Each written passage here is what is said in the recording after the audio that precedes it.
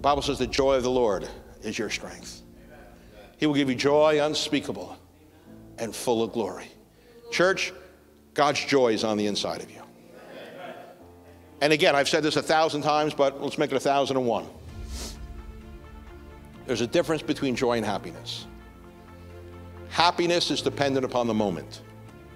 Happiness is determined by what's going on around me. Happiness is determined by what's in my pocket or what's in my wallet. If I got some scuttle in my, in my wallet, I'm happy. If I got nothing in my wallet, the happiness is gone. So happiness comes and goes. Happiness, we're up and we're down. Joy, however, is not based upon the things going on around me. Joy is based upon the thing that's living on the inside of me.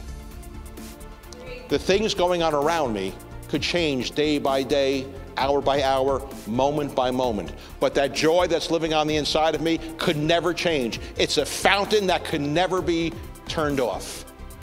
So, therefore, joy is of far greater value than happiness. Church, all the world could offer you is happiness, and that happiness is temporary.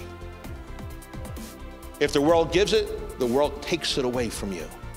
But joy, on the other hand, oh, it's that fountain that no matter how bad the situation is around you, it just springs up on the inside of you. Some of you, you've been focused on happiness and you've bypassed the joy. The joy is the greater treasure, the joy is the greater price. And God said, I put it on the inside of you.